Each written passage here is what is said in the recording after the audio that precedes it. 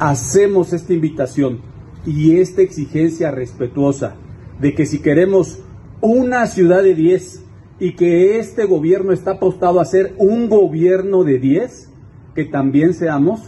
ciudadanos, poblanas y poblanos de 10